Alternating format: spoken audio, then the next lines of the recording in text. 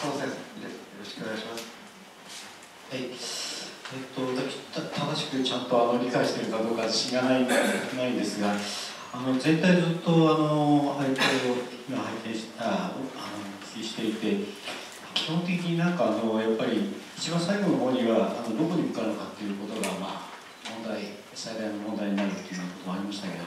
いろいろそのむしろその昨日からシンガポールというところのその国の枠組みとかあるいはその歴史をどういうふうに語るべきかっていう新しい都市国家なんでというようなことが結構話題になってきていたのでその前提で伺っていたんですがあのムスタフさんのあのむしろ一番の関心はそういうところよりもあの歴史をどういうふうに捉えるべきかっていうそういう問題のようだなっていうふうに感じました。つまり何かの学問領域になればそこの学問領域のやり方なり見方なり必ず回収されてしまう。ですからむしろそれをあの一番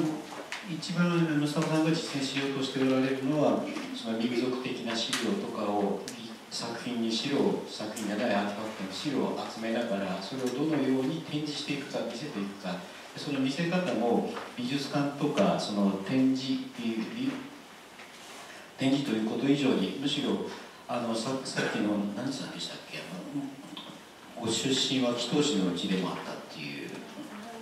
モハメあモハマド・ディさんと一緒にとかむしろあのやっぱり作家さんたちと一緒にあの美術史ではないということもあの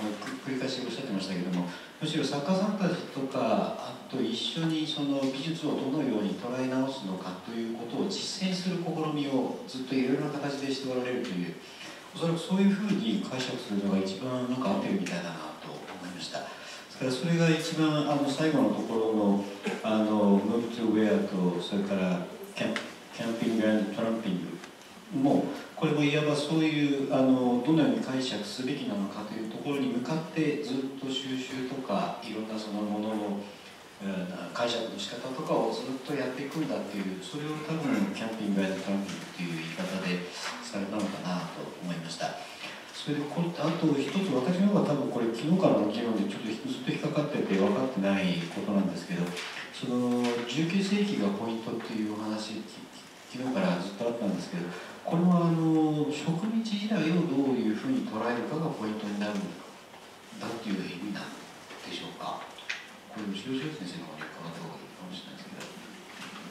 今これ質問する時間じゃないですかね。はい。午後でちょっとちょっと間違えた。そうですあのキャンピングトランピングのあの今回のアブストラクト私訳してないんですがあのなんだっけタイトルが